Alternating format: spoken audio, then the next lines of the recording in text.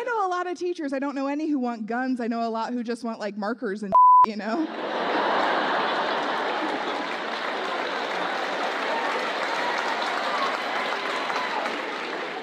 if I get a school issued Glock, well, I'm still buying my own post its.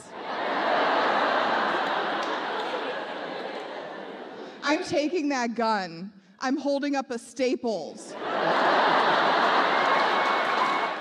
It's insane that we live in a reality where teachers have to buy their own everything. Anything you want for your classroom pencils, paper, books, uh, markers, post its, anything you need. Oh, the district can't afford that. The state can't afford that. The government can't afford that.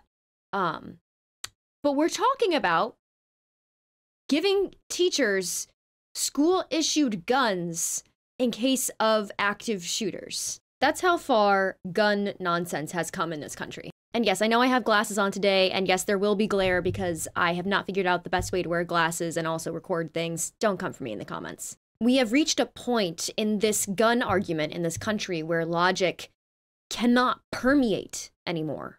Why do you think that Chicago has become America's largest outdoor shooting range? Do you think it's because of Chicago citizens uh, who have no criminal record, but, but who have a, a lawfully a gun in their home for protection or perhaps for hunting?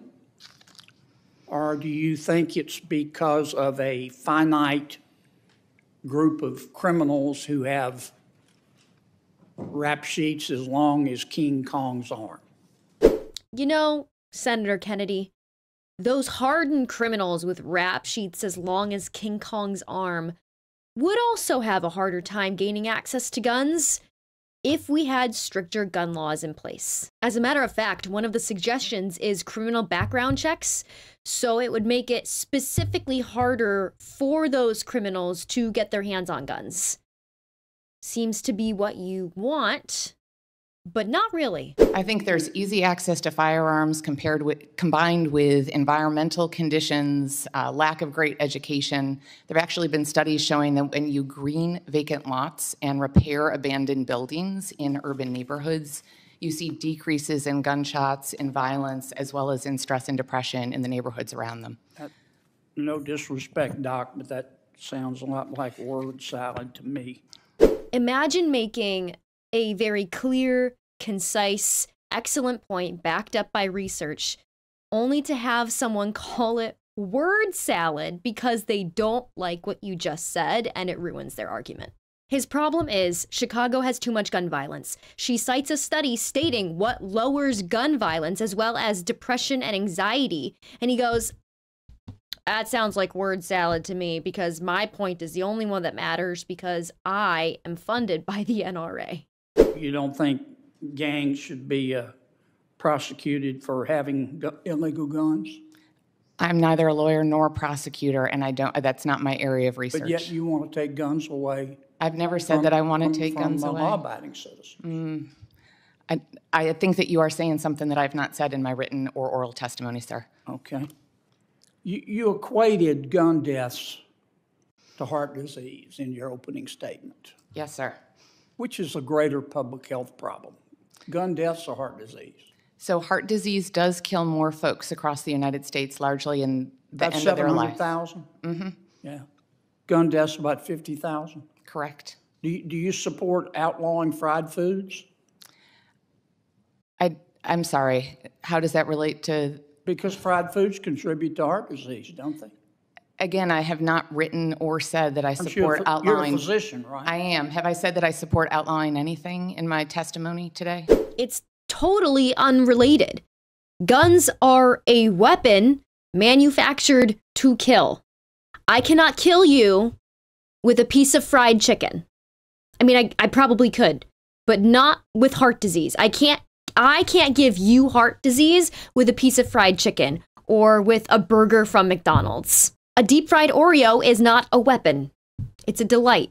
What do you say to people who think that there are too many mass shootings in the United States of America? It's the idiots that pull the trigger. Yeah. It's not the people that own the guns. Right. What if, what if the idiots that pull the trigger own the guns? Hey, are you an idiot? Should we make sure that the people who How are you gonna idiots Make sure of that. You gotta have stricter gun laws? Test to drive a car. Do you think? Do you You think? don't have to have an IQ test to have a gun, do you? Well, you have to. You actually have to take a test to drive a car. You need to like learn how to drive it safely to be able to drive it. Did your mama teach you how to drive a car?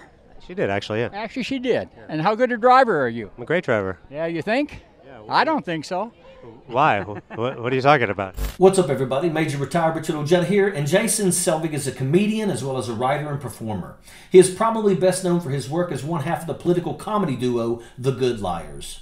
They have seamlessly infiltrated conservative rallies and campaign events to interact with, interview, and troll candidates and those in attendance with political satire and quick wit. Are you any good at shooting a gun? What is what, what does one thing have to do with the other? I'm Because confused. you took a test and you think you're smart enough because you took a test. Did you pass a driver's test to, to drive? No. I'd learn to drive out in the fucking woods. But you had to get a driver's license. you had to get a driver's license, right? For what? To drive a car. Why do you need a driver's license to drive a car? Do you know how to drive a car? You have to have one to drive a car, though. That's it's the only a law. Suggestion. It's not a suggestion. You have to have a driver's You license to to drive have a car. Driver's license to vote? You have to have a driver's No, license no, to drive have a to have car. driver's license to vote? What does that question have to do with what we're talking about? Because you, you say I got to have a driver's license for something that if I don't need one to vote, I don't need one to drive.